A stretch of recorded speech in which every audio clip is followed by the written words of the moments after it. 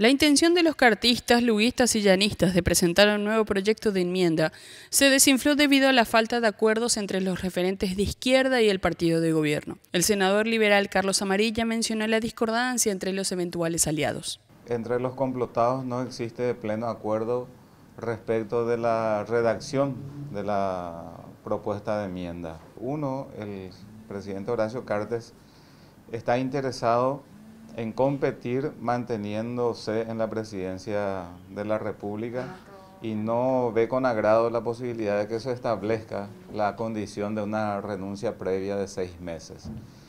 Y por el otro lado, también del sector, digamos, del presidente de la República, no desearían de que se compute este periodo como parte ya, digamos, de, la nueva disposición constitucional en cuanto a la reelección. Incluso mencionó las consecuencias que podría acarrear la alianza lugo-cartista. Desnudaría de que todo este proceso es con el solo propósito de beneficiar al señor Cartes y Lugo sería un convidado de piedra en este proceso, como desde luego lo es, ¿verdad? Por su parte, el senador del PLRA, Miguel Abdón Zaguier, anunció que buscarán la forma de derogar el proyecto de ley de seguridad nacional que permite a las Fuerzas Armadas luchar en combate contra el EPP.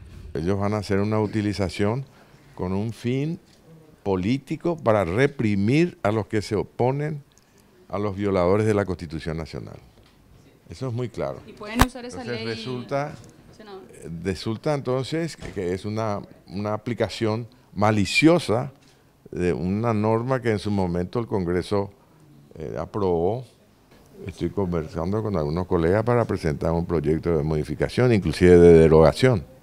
Yo soy partidario de una derogación total.